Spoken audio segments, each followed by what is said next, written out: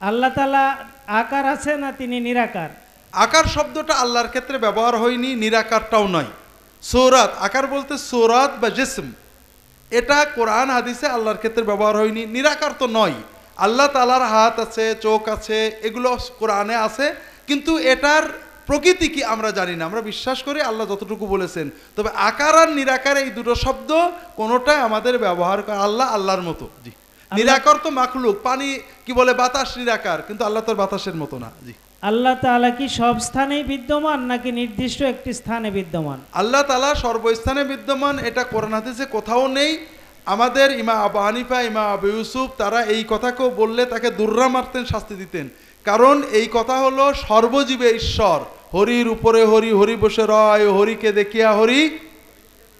এই কথা যে ওই সাপও হরি ব্যাঙও হরি পদ্মপাতা হরি পানিও হরি এই কথারই একটা প্রকাশ হলো সর্বত্র বিরাজমান। তার মানে মাসির মাথার ভিতরে বাথরুম নিচে, সমুদ্রের নিচে মাছের ভিতরে।